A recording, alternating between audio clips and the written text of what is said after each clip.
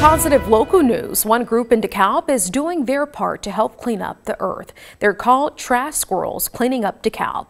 The public Facebook group works together to pick up trash in the DeKalb area. According to one of the group's founders, the group picked up more than 6,200 pounds of trash last year and are excited to announce their plans to help clean up through September. So I just encourage people throughout the year to pick up trash where they are, make it a way of life.